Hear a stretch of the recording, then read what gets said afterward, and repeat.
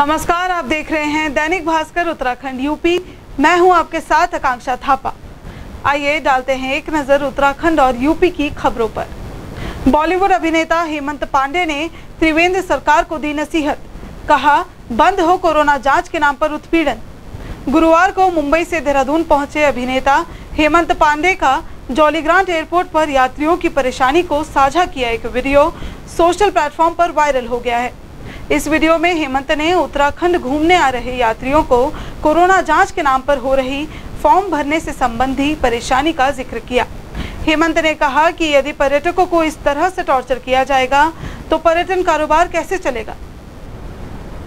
खालिद मंसूरी बोले पछवा दून क्षेत्र को नशा मुक्त करना हम सबका दायित्व। विकास नगर के खालिद मंसूरी ने युवा को संदेश देते हुए कहा कि जीवन में हर कोई कहीं न कहीं बहक जाता है। लेकिन हमें अपने आप को नशे से मुक्त रखना है। उन्होंने कहा कि उनकी टीम लगातार प्रयास कर रही है कि उनके शहर से नशा बिल्कुल पूरी तरह से चला जाए। खानपुर विधायक कुंवर प्रणव चैंपियन का कथित ऑडियो वायरल।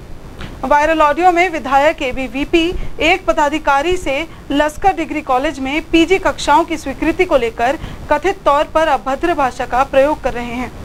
डिग्री कॉलेज में यूजी स्तर पर और कक्षाएँ शुरू करने एवं पीजी कोर्स शुरू करने की मांग को लेकर एबीवीपी ने करीब दो सप्ताह तक आंदोलन किया था।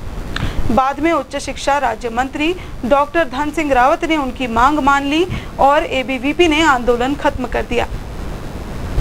आरडी और एफडी के नाम पर धोखाधड़ी कर हड़पे 22 लाख।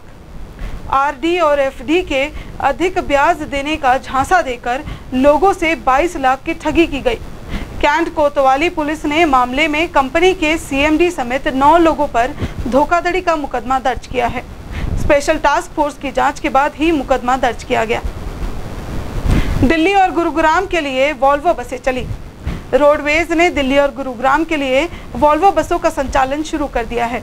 पहले दिन बहुत कम यात्रियों ने सफ़र किया। एक बस में 12 और दूसरी में 10 यात्री देहरादून आईएसबीटी से सवार हुए। यात्रियों की संख्या बढ़ने पर ही रोडवेज़ बसों की संख्या भी बढ़ाई जाएगी।